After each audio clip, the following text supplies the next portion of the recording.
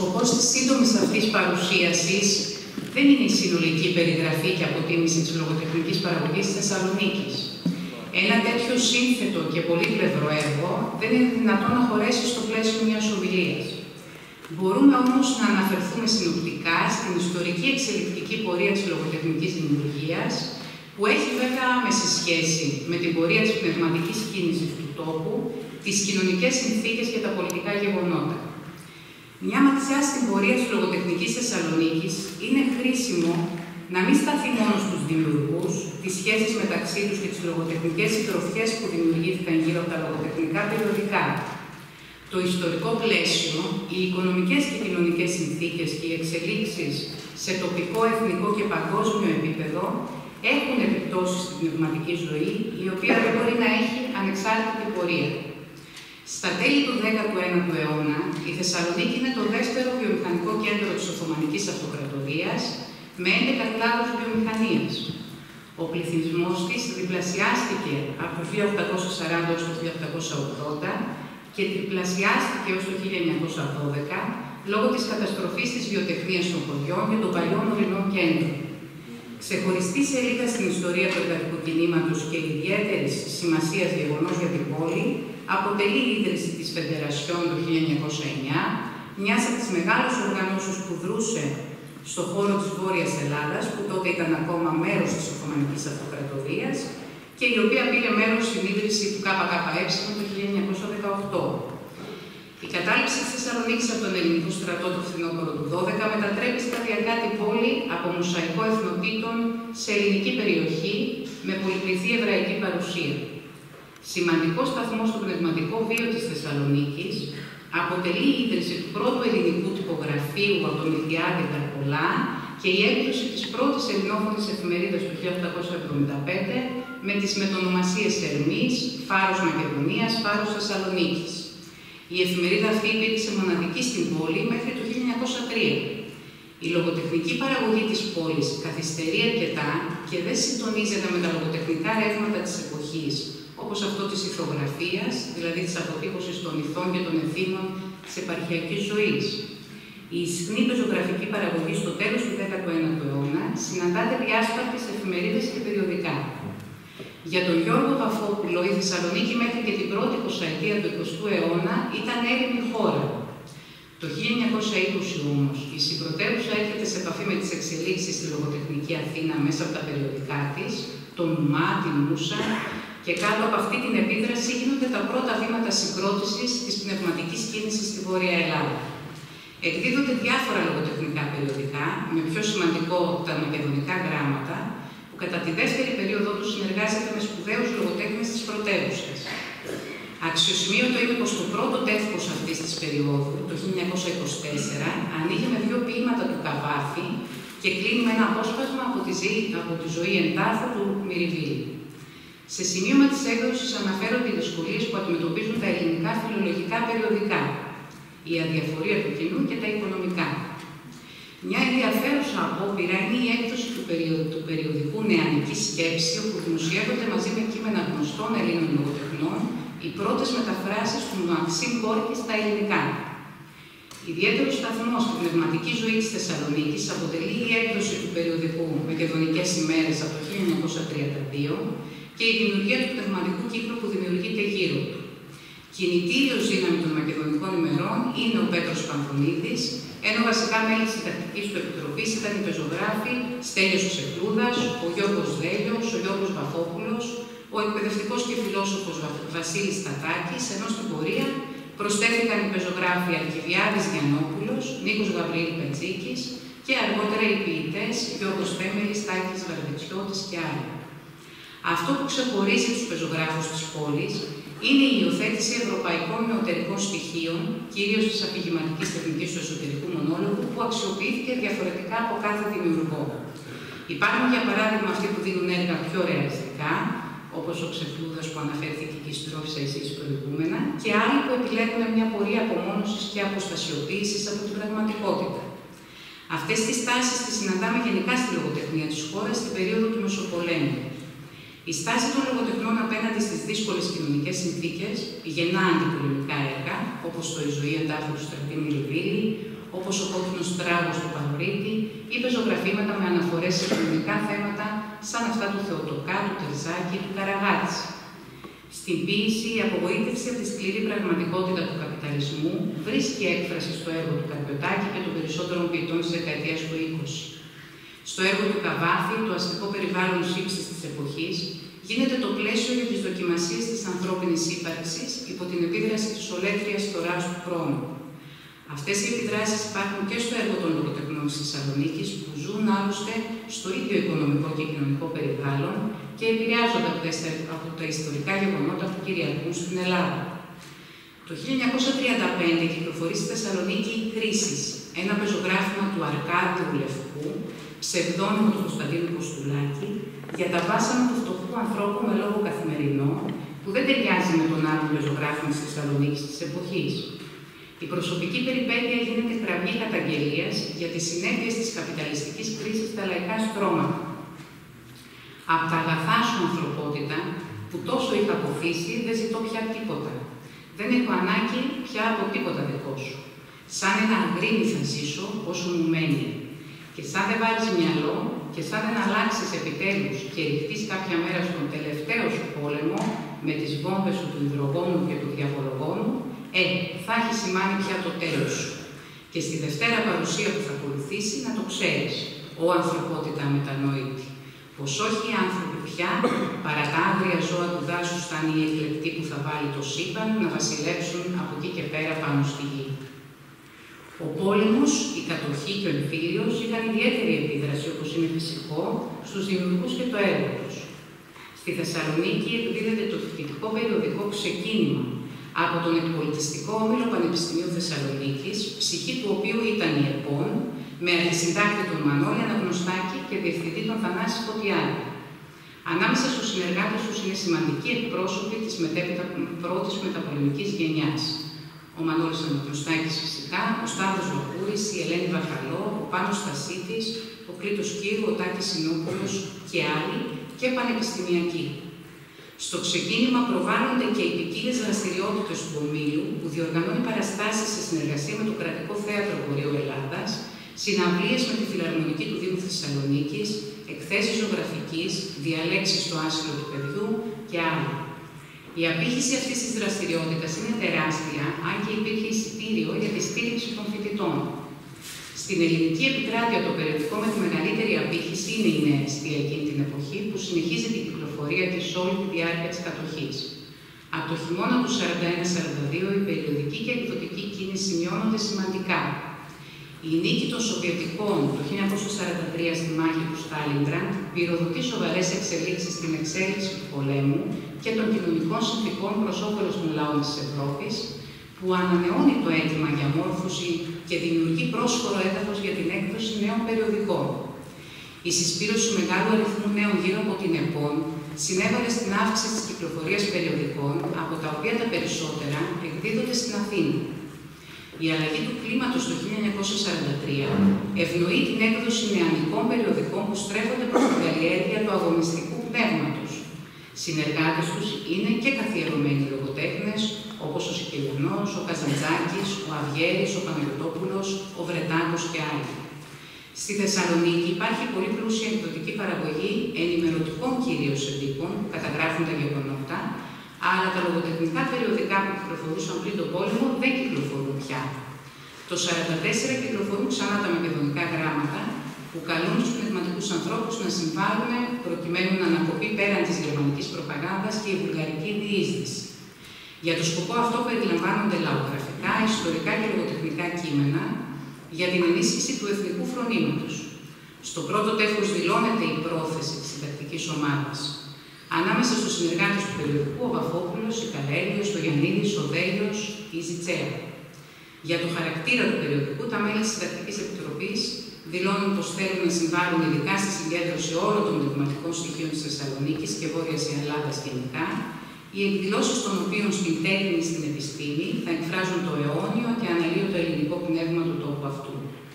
Από την άλλη, το ξεκίνημα δίνει βάρος στην επαφή του λαού με την τέχνη, Θεωρεί σημαντική την πνευματική του αφύπνιση και προσπαθεί να συμβάλλει με το, περι... με το περιεχόμενό του στην ανάπτυξη αγωνιστικής διάθεσης.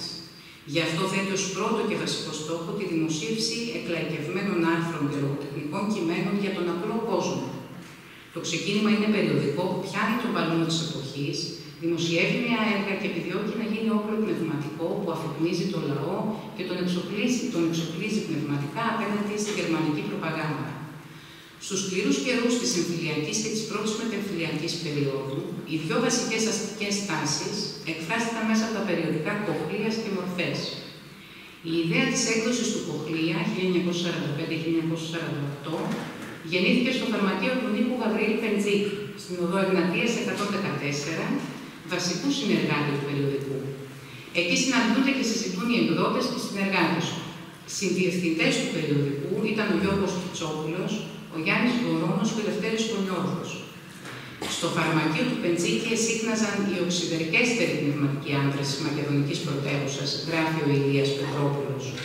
Εκεί μέσα εγνώρισα διαδοχικώς τον Γιώργο Κιτσόπουλο, τον Τάκη Βαρβιτσιώτη, τον Σεβάσμιο Γιώργο Θέμελη, τον πρωτοπόρο γραφίστα Γιάννης Βορώνο, τον Τριαντάφυλλο Πίτα, τον σεμνότατο ζωγράφο Τάκη Ιατρού, τη Ζωή Καρέλη, τον Νίκο Σαχίνη, τον τον Γιώργο Παραλή και πολλούς άλλους.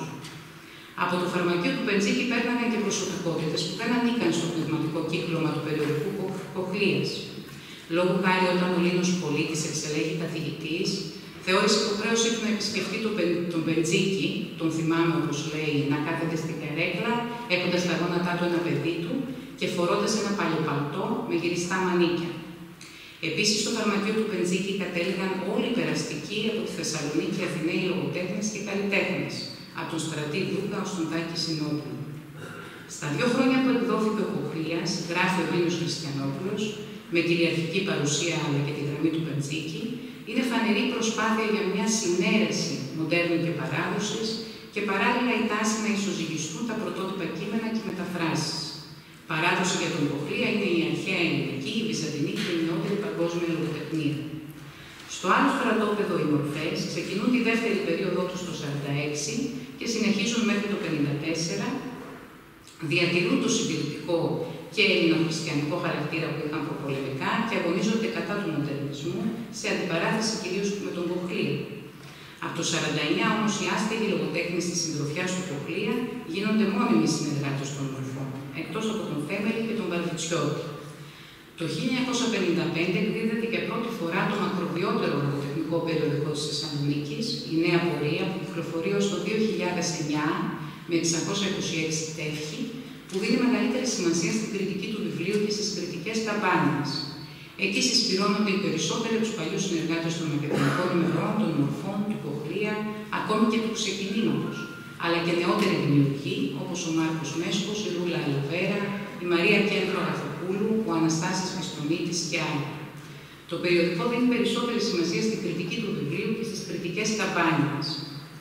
Η Διαγώνιος, λογοτεχνικό και καλλιτεχνικό περιοδικό, διανύει τέσσερις δεκαετίες που ξεκινάει ως όργανο μιας ομάδας νέων, Δίνος Χριστιανόπουλος, Νίκος Αλέξης Ασλάνογλου, Γιώργος Ιωάννη, Κάρολος Τσίζε, Ηλίας Πετρόπουλος, στους οποίους προστίθεται ο Νίκος Καχτίτσης, Παναγιώτης Μουλάς, Τόλης Καζαντζής, Βασίλης Καραβίτης, Περιπής Φυρίδης.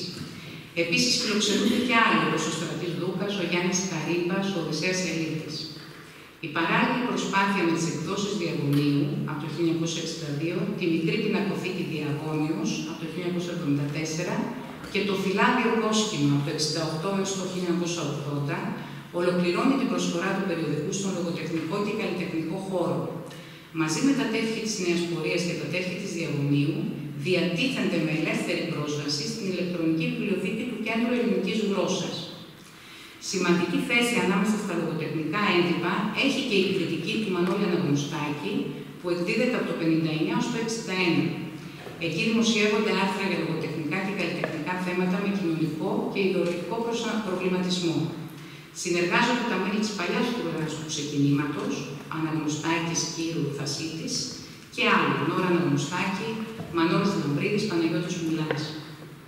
Στη διάρκεια της δικτατορίας των συνταγματαρχών, οι περισσότεροι λογοτέχνες σιωπούν, ενώ δεν είναι λίγοι αυτοί που διώκονται και χάνουν τις δουλειές τους. Την περίοδο 71-72, μέσα στη δικτατορία, εκδίδεται το περιοδικό Τραμ, που αποτελεί βήμα νέων συγγραφέων που διώχθηκε και πάθηκε από κοντά με τον νόμο περί τύπου, ενώ οι υπεύθυνοι Μαρία Καρδάκου και Δημήτρης Καλοκύρης, καθώς και οι συντελεστές Ηλίας Πετρόπουλος και Θέμης Λιβεριάδης, οδηγήθηκαν σε δίκη και στη φυλακή. Το τραμ επανεκδίδεται μετά τη Χούντα, την περίοδο 76-79, από τον Δημήτρη Καλοκύρη και τον Γιώργο Κάτω και αποτέλεσε τη φωνή, τη φωνή της γενιάς των λογοτεχνών που γεννήθηκαν στις δεκαετίες 40 και 50, όπως ο Αλέξης Τραγιανός, ο Γιάννης Ιφαντής, ο Πάνος Θοδωρίδης, ο Μανώλης Ξεξάκης, η Αλεξάνδρα Τελιγιώργη και άλλοι. Μετά τη δεύτερη περίοδο του Τραμ, το 1979, και την οριστική πάυση του περιοδικού διαγώνιος, το 1983, το μόνο αμυγός λογοτεχνικό περιοδικό της Θεσσαλονίκης απομένει νέα πορεία. Την ίδια περίοδο, από τα τέλη της δεκαετίας του 70 με αρχές του 80, θεσσαλονικοί συγγραφείς εμφανίζονται και γίνονται όλο και περισσότερο γνωστοί στη σκηνή της πρωτεύουσα, σε περιοδικά, σε εκδόσεις, σε εφημερίδες, στην τηλεόραση. Η Θεσσαλονίκη συνεχίζει να γεννά σημαντικούς πεζογράφους. Την ίδια περίοδο καθιερώνονται μεταξύ άλλων ο Τάσος Καλούτσας, ο Αντώνης Σουπούνης, ο Μανώλης Ξεξάκης, ο Αλμπέρτος Νάρ, ο Γιάννης Πατζόνης, η Στέλλα Βαρουκογιατζόγλου και άλλοι. Το 1987 εκδίδεται το περιοδικό Εντευκτήρι από τον συγγραφέα και δημοσιογράφο Γιώργο Κοφθομενίδη, που προβάλλει μέχρι σήμερα τη λογοτεχνική παραγωγή της πόλης αλλά και ολόκληρης της επικράτειας.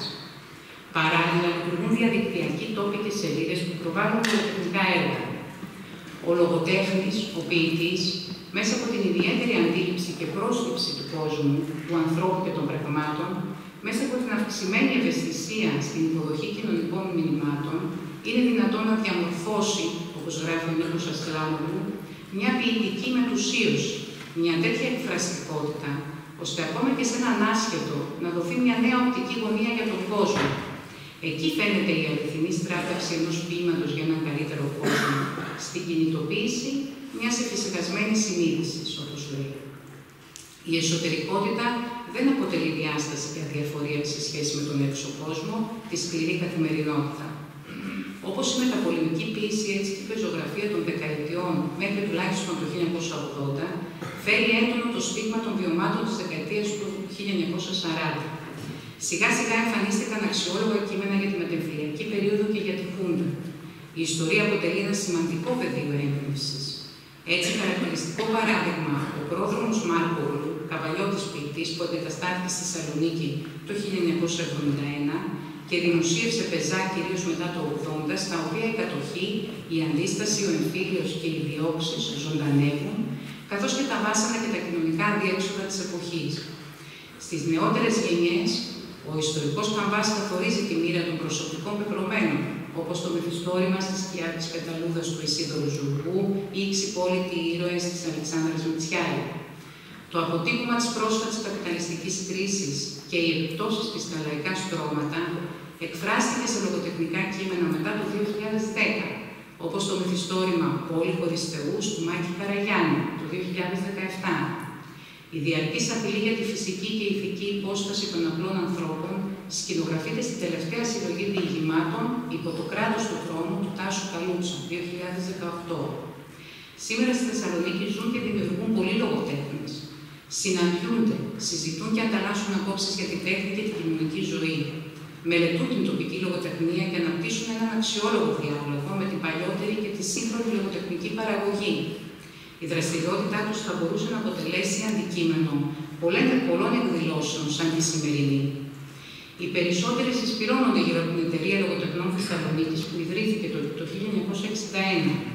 Στην ιδρυτική της διακήρυξη διαβάζουν η ανάγκη διευρύνσεως της ολοένα αυξανόμενης έντασης του λογοτεχνικού παλμού της πόλης υπέρ της γενικότερης πνευματικής πρόοδου και η οργάνωση της ευρύτερης προβολής του μέσα από το πρόσωπο ενός λογοτεχνικού σωματείου ώστε οι λογοτέχνες της Θεσσαλονίκης να αποκτήσουν ένα κοινωνικά εμφανέστερο παρόν και να προχωρήσουν ακόμα σε θετικότερες διεκδικήσεις πνευματικές ή πρακτικότερες κατά τις ανάγκες της ώρας.